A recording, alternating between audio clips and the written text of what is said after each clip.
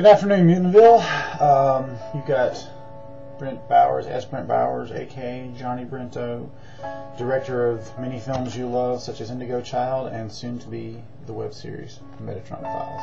Actually, this is another Making Metatron episode, and um, just wanted to keep these rolling because I am absolutely committed to sharing every single ounce of the behind the scenes um, filmmaking experience with you guys. So had some fun uh, yesterday working on Metatron files, and so I'm sharing that today. I do realize that the dates on these are going to kind of tell that you know they are all like a couple days or just uh, day after day after day. Um, but that's that's the way it is. At times you run into inspiration, or you see, okay, I can go ahead and knock out this little piece of detail for the project. So let me go ahead and just do that while uh, I have the time, because as you get closer to the shoot, you have way less of that.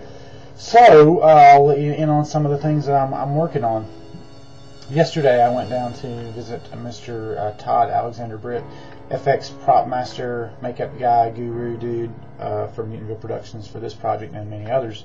Um, by the way, uh, green tea again. Recommend that highly for all you. As you can see, I'm a big boy, so uh, I'm trying to increase my condition for the shoot because it's it always actually is a real physical chore when you're directing because you're on the feet the whole time and uh, so I always try to drop a few pounds before I, I get into a project like that and I'm kind of in that phase right now where I'm hitting the gym a little bit harder than normal and um, hoping to trim down a bit before we actually get into actual, actual production because it can be tough on your knees and back at least in, in my case.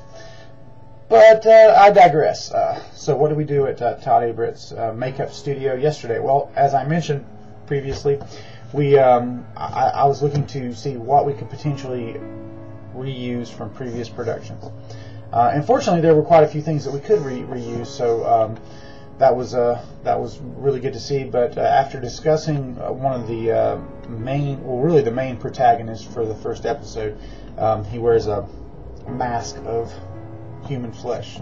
Um, with something like that that's so iconic, and obviously you've got Leatherface, it has to look way different than that, or people really kind of ding you for lacking originality. Um, plenty of movies uh, we see the killers take human flesh put on their face. Uh, Jeepers Creepers is one great example that jumps to mind where it was not really done like Leatherface, so it you know it, it can be its own thing. And I had some ideas about making that unique, so uh, we did find an old uh, throwaway latex version of a previous mask from our film C for Chaos that we were able to uh, you know just kind of came out too flimsy, and we could we could have made that work. Um, and that would have knocked out a big piece right there. But and discussing it with Todd, uh, we decided that it should be sculpted so that we could put more detail and have the runes, which really kind of tell some of the um, the backstory, if you will, of characters. Um, so uh, to that end, I actually started the uh, preparation of the uh, bust of myself. Actually, we're building on my head,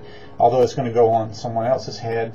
Um, it's, uh, it's it's intended to be kind of loose fitting, you know. So that that actually worked out. Um, but I, I, got to about two hours into that and really got to the point where it's uh, prepared to actually start sculpting, uh, putting on skin texture and then sculpting the detailing. So um, I'll return sometime this week to, to work on that. That was a lot of fun though. I've never actually done the hands-on clay stuff before, and uh, it's actually not as hard as it looks once you get in there and uh, see the tools. Now, of course, I haven't gotten to the detail, and if, if I'm able to do it, I will do it. If not, I'll uh, I'll call on Todd to come in and handle the parts that I that I can't, and uh, uh, as opposed to having an inferior sculpt on it. But I do think um, if I can get the broad strokes, I'll be able to kind of guide the direction of that, and it'll look the way I envision it to look, and then just count on him for the fine details and actually turning it into a, a, a piece of foam latex for us. So that'll be great.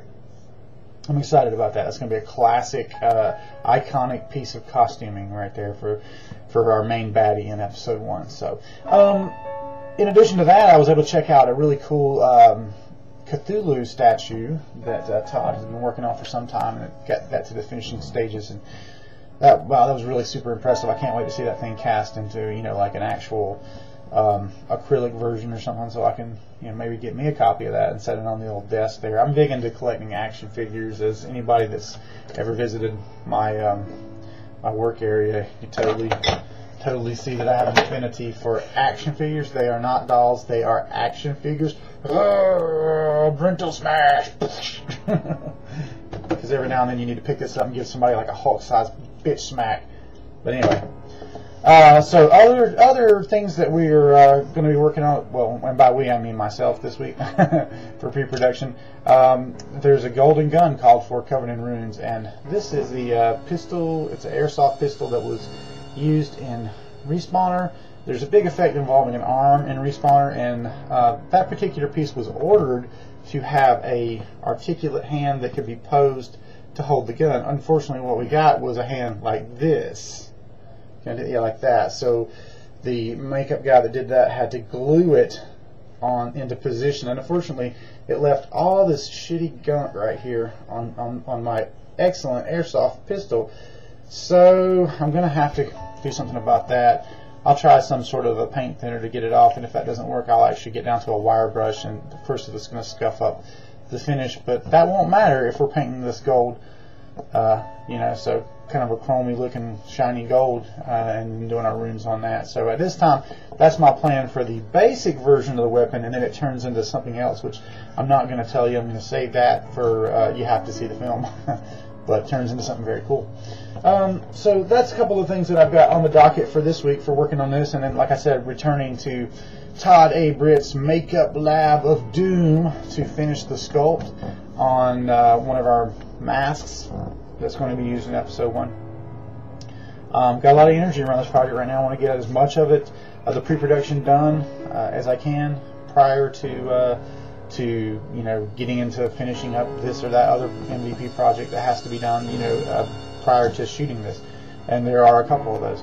Uh, we did have a, a, a full-on MVP meeting covering other topics, but also uh, working on Metatron, and uh, we actually made some some pretty interesting uh, discoveries, uh, or at least in our discussion, certain things came to light. And uh, so I think we're going to be contacting some more folks about being involved in the project, and maybe at least one of them some of you might have heard of. So it's pretty uh, it's pretty exciting, and we've just basically delegated. Uh, you know, Jamie's going to handle this, George's going to handle this, I'm going to handle this here and uh, you know just delegated some work around so that we can all kind of be working in the direction of moving us closer to actual production and uh, that's how we do it especially when you know most folks work a full-time job um, you know that's how you have to divide it up and catch as catch can whoever has the time and the bandwidth to handle said piece of pre-production you know they do it and um, that's how we're rolling right now on Metatron Files. Thanks for checking this out, and there'll be another episode very, very soon.